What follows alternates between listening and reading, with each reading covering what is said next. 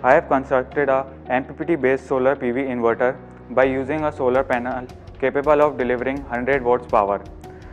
Here is a MPPT based circuit which is used to deliver constant voltage supply to a 12 volt battery capable of taking 7.5 ampere of current